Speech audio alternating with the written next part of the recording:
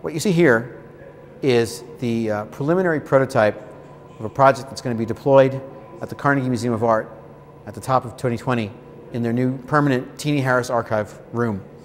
What we see here is uh, a prototype of a system that we've developed between the Studio for Creative Inquiry and the Carnegie Museum of Art, uh, the Teenie Harris Archive, uh, to organize the collection of Charles Teenie Harris. Teenie Harris was an African American photojournalist active from approximately 1935 to 1975. And during his lifetime, he took close to 80,000 photographs. Unfortunately, after his death, his negatives and photographs were badly shuffled. And it's believed also that Teenie Harris was functionally illiterate because his photographs had almost no written information explaining who was in them, where they were taken, even things like dates and locations were absent. So uh, for the last 15 years, the Teenie Harris Archive at the Carnegie Museum has been very active in uh, trying to figure out who's in the photographs and how they, you know, what, what they depict. um, this is an incredibly important archive of black culture in the 20th century uh, during the Jim Crow eras and the civil rights eras. Um, and uh, we decided to, to, to, collaborate with the, uh, the Carnegie Museum to see if we could use machine learning and computer vision techniques in combination with their human annotation techniques uh, to see if we could uh, help bring more information to the archive where it was missing.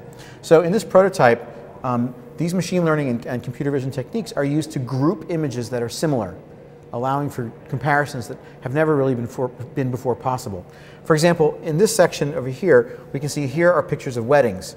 And so we can pick a given happy couple and sort of see what that you know, wedding would have looked like.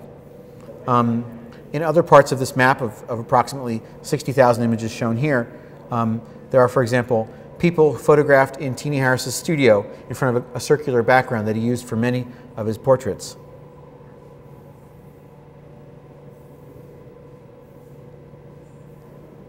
So we hope that this tool will help people understand the landscape of images that Charles Teenie Harris took.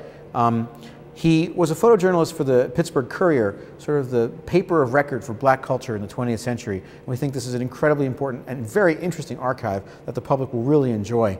Um, this exhibit, like I mentioned, will be uh, at the Teenie, in the Teenie Harris Room of the Carnegie Museum of Art starting in January 2020.